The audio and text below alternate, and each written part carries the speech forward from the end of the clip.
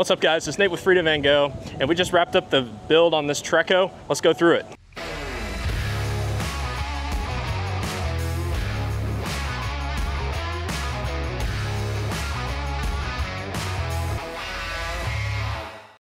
So we gutted the factory dinette and swapped in our dinette upgrade. It really got us set up for some serious electrical upgrades. We're not gonna be able to fit a bigger inverter, a DC-DC charger, a solar controller, an extra battery. None of that can fit in the factory dinette location. So the customer opted for this dinette upgrade to get them set up for everything else that came after. Also, we just released a new Inhabit mat set that fits with our dinette upgrade.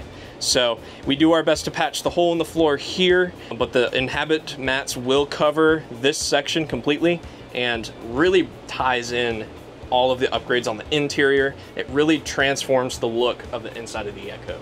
In this particular case, the customer opted for a second 320 battery out front and a third battery installed on the inside, but we did a Lithionics 630 amp hour battery on the inside. So a total system capacity of around 1200 amp hours. So now they're gonna be set up with all of the off-grid storage. It's making this a really capable rig. And uh, this really is the more cost-effective solution. You're getting just about the same amount of capacity for a cheaper price. So they're running that single 630.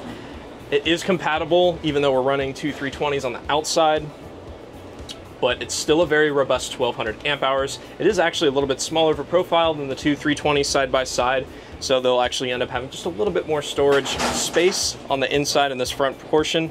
Also connected to those three batteries, we have the Victron Smart Shunt, so they'll have a complete system monitor in addition to their Multi-Plus and their DC-DC charger. We also did some other Victron upgrades. We actually pulled out the Xantrex 2000 watt inverter and swapped in a Multi-Plus 3000 watt inverter.